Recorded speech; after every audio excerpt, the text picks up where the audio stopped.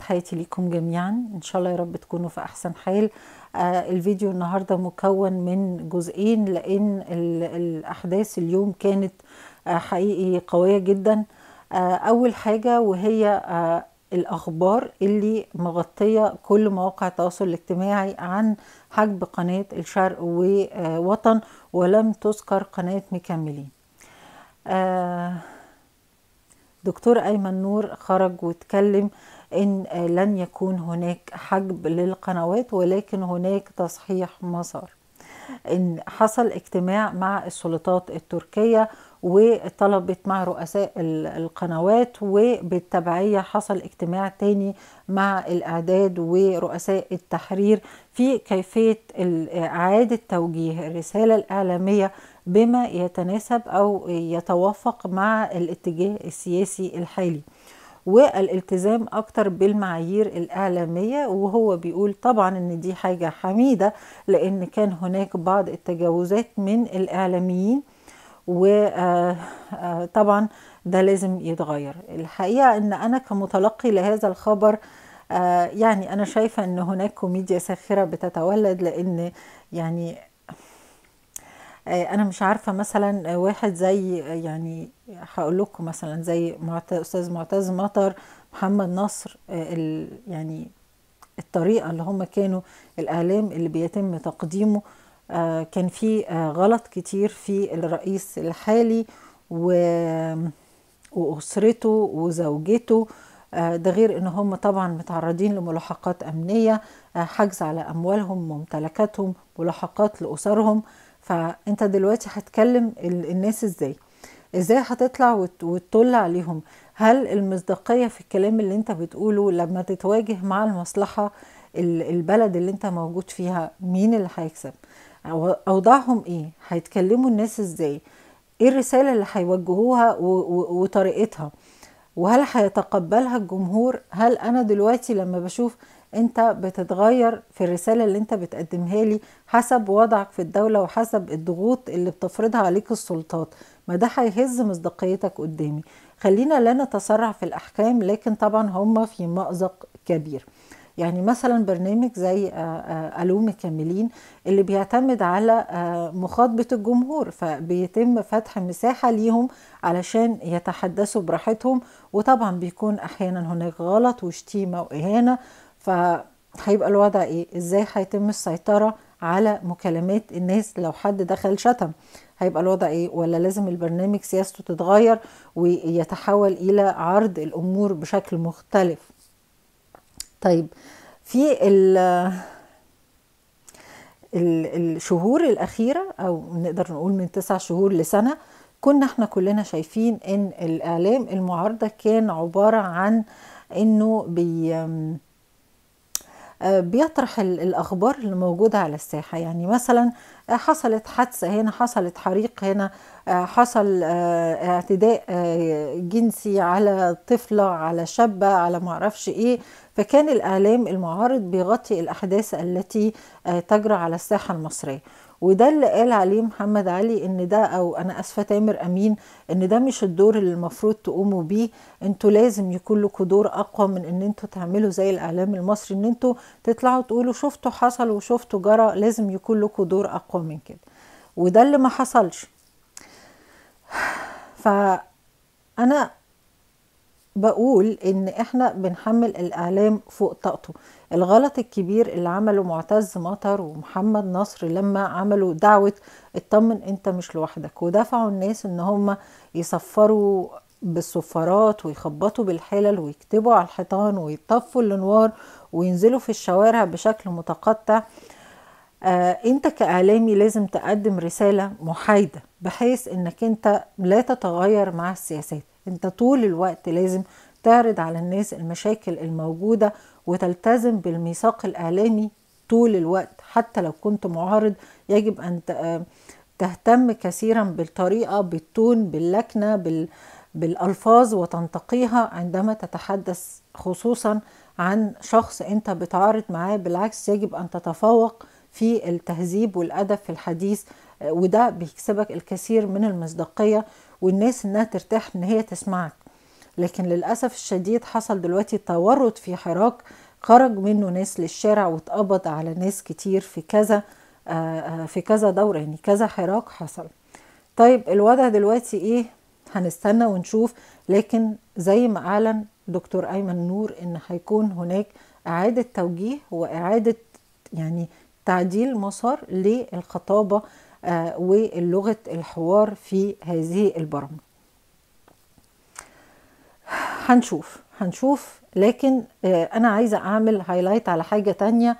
الشباب شباب الإخوان اللي طلعوا من آه مصر سواء عليهم أحكام أو ملاحقات أمنية طلعوا تهريب من مصر على السودان على الصومال. الشباب دول حقيقي وضعهم في تركيا مؤسف جدا. وأنا استمعت إلى أحد الشباب وهو كان بيشتكي من ضيق الحال وقلة فرص العمل واضطرارهم للقبول بالعمل في هذه القنوات أو غيرها مقابل مبالغ ما بتكفيش حتى مصاريف أسبوع ومنهم اللي بيطرد من مسكنه. هؤلاء الشباب إحنا لا نطالبهم بأي نوع من العمل ال ال ال ال يعني شباب لو ضاع وما رتبش حياته ما نظمش إزاي هيكمل طريقه وإزاي هيرتب مستقبله ويعرف أنا يكون ليا شغل يكون ليا دخل أقدر أكون أسرة أقدر يكون ليا زوجة. لو هو حياته مش مترتبة فهو عبارة عن قنبلة موقوتة.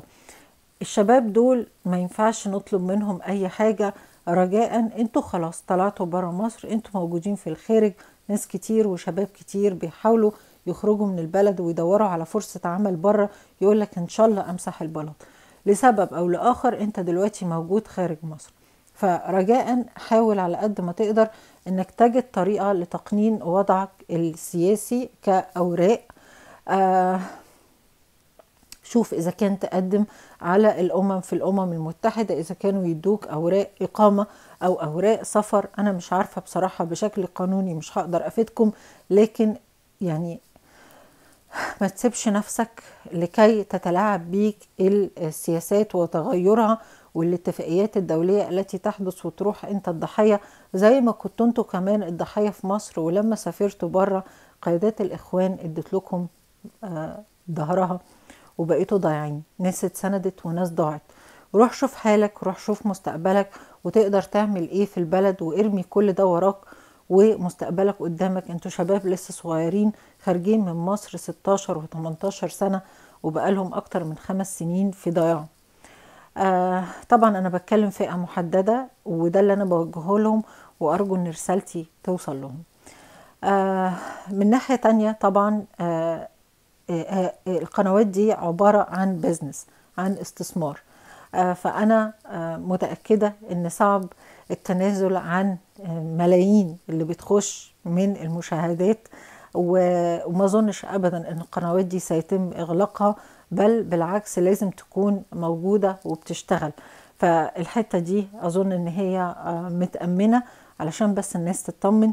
لكن الرسالة هتكون إيه وكيفية تقديمها هو ده اللي هنشوفه في الأيام الجاية. هتكلم معاكم في الجزء الثاني عن الشاب محمد يوسف من شبين القناطر محافظة القليوبية. إحنا صحينا النهاردة الصبح على حادثة حصلت مساء تجمهر وتظاهرات يقوم بها المواطنين داخل أمام مركز الشرطة وهناك روايتين. الرواية الأولى بيقولها المواطنين ودي عكس تماما الرواية التي ترويها الشرطة.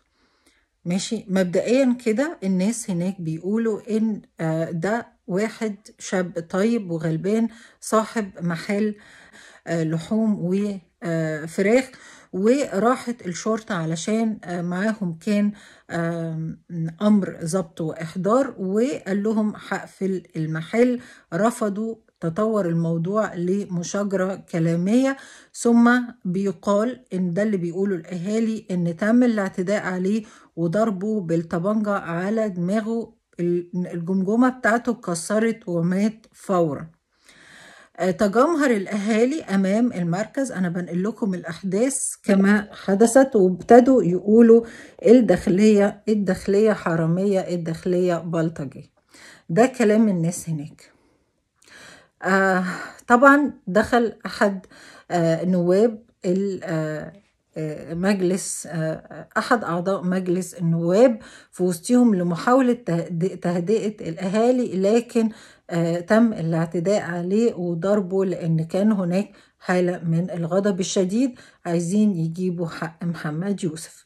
طبعا ابتدينا ننشر الفيديوهات بتاعت الناس هتلاقوها موجودة في صندوق الوصف بتاع الفيديو. كل التظاهرات اللي حصلت. وابتدت عايزين نعرف يا جماعة إيه سبب إن هو توفى إيه سبب القبض عليه. مفيش حاجة واضحة بل كمان قالوا إن الشرطة أخدت كل الكاميرات اللي كانت موجودة وشفنا الناس اللي هم بيقولوا إحنا لازم حقه يجي وإحنا لو سكتنا هيتحول هو لمجني علي. التظاهرات ابتدت تزيد والتجمهر أمام المركز وكان هناك محاولات لتهدئة هذا التجمهر لغاية ما صدر بيان من وزارة الداخلية حقيقي بيان أنا مش قادرة أفهمه إن بيقولوا إن دي أخبار كاذبة نشرتها جماعة الإخوان المسلمين الإرهابية وإن الراجل مات من نفسه وإنه متهم في تجارة المخدرات. الأهالي هناك بيقولوا كلام تاني خالص لكن أنت كمواطن مفيش قدامك غير إنك أنت تصدق رواية الشرطة. آه مفيش حد من المواطنين طلع مفيش حد من أهله اتكلم مفيش أي فيديو قدر من الكاميرات يتم تسريبه علشان نعرف إيه اللي حصل. روايتين عكس بعض تماما. واحدة بتروي انتهاكات قوية جدا أدت إلى وفاة مواطن ضربا تمام؟ وبعد شهور من وفاة عويس في الأقصر اللي إحنا نادينا بحق عويس ولغاية النهاردة ما وصلناش لحاجة.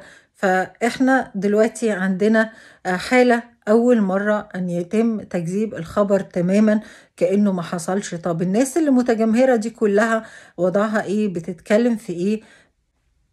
كل الناس دي كدابين يعني كل الناس دي فاهمة غلط.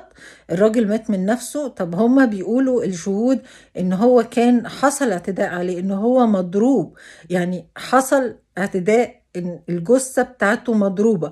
الشرطة بتكذب ده في البيان بتاعها. إحنا هنصدق مين؟ أنا حقيقي مش عارفة. الأمر دلوقتي بيرجع ل آه أهل ال ال ال مركز هناك هم اللي كانوا موجودين. إحنا كناس بنتلقى الأخبار وبنعيد نشرها كما يحدث بمنتهى المصداقية. إذا كان عندهم حاجة موقف تاني أو حاجة يقدروا يأكدوها يواجهوا بيها الداخلية ويطالبوا بحق محمد يوسف لأن كمان هم ذاكرين اسم معاون المباحث بشكل محدد. حاجة كمان إحنا يعني التاريخ اللي عندنا كمواطنين من اعتداءات بعض الأفراد من الداخلية أنت طبعا بتقول حتى لو حصلت حاجة زي دي حالات فردية. طب أنت عندك عويس لسه من كام شهر في الأقصر لما اتضرب بالنار قدام باب بيته قدام أهله. مش هننسى ابدا عفرته اللي انتهت حياته. الشاب آه ما كملش عشرين سنة وانتهت حياته على يد أمين الشرطة. آه مش هننسى أبدا مجدي مكين اللي آه افتكر الأمين إن هو مسلم لأنه كان مربي دقنه وجرجروه على الاسم واعتدوا عليه وانتهكوا أعضاء من جسده. كانت بتنزل دم من كل حتة في الفيديو اللي إحنا شفناه وتوفى ومعرفش حقه وصل لغاية فين لكن أنتوا تقدروا تتابعوا القضايا دي موجودة. يعني اكتبوا عفروتو اكتبوا مجدي مكين علشان تعرفوا ان موضوع الانتهاكات اللي بتحصل من انتهاكات حقوق الإنسان اللي بتحصل من جهاز الداخلية تجاه المواطنين. يعني موضوع إحنا إحنا بنسعى لتحسين العلاقة بين المواطن والشرطة. بنسعى لاستقرار البلد بنسعى أن يحس المواطن بالثقة عندما يتعامل مع أفراد الشرطة ويشعر بالأمان وهو ده المطلوب. لكن لما يكون العلاقة فيها المشادة التي تصل إلى القتل ثم يصدر تكذيب لكل المتجمهرين إن كل الناس بتقول لأ أن ده كذب وما حصلش فطبعا دي حاجة إحنا بنحط عليها علامات استفهام كبيرة جدا وغير مفهومة. أنا كمواطن من حقي أتمتع بالحرية ومن حقي أعيش في أمان والشرطة هي تكون المصدر اللي أنا بلجأ له وأن يكون هناك معاقبة مشددة لأي ضابط بي- بيتعرض لاعتداء بيقوم بالاعتداء على مواطن. لكن لما أنا كظابط أشوف غيري عمل كده وأخد له سنتين ثلاثة وطلع أو خمس سنين ونزل طلع بعد نص المدة آه، فطبعا دي حاجة غير رادعة على الإطلاق بل بالعكس بتشجع يعني إن إن- يعني فيها بتشجع لسوء استخدام آه، ال- السلطة وسوء استخدام السلاح. آه آه طبعا أنا بعزي أهل شهيد القليوبية. و, اللي عنده دليل يقدر يواجه بيه ما يتم تصديره بيقوله. لكن لو ما فيش يبقى إحنا مضطرين إن إحنا نصدق البيان اللي أصدرته الداخلية. لكن طبعا هي حاجة حزينة جدا. أنا متأكدة إن لن يتجمر هذا العدد الغفير من المواطنين علشان خاطر واحد توفى فجأة. وأنا متأكدة إن هناك اعتداءات متكررة من آه، الأمناء الشرطة ومن بعض الضباط على المواطنين. تمام؟ وده لازم يتغير. تحياتي ليكم. وحق محمد يوسف لازم يرجع. ضحية ممارسات الشرطة في شبين القناطر محافظة القليوبية.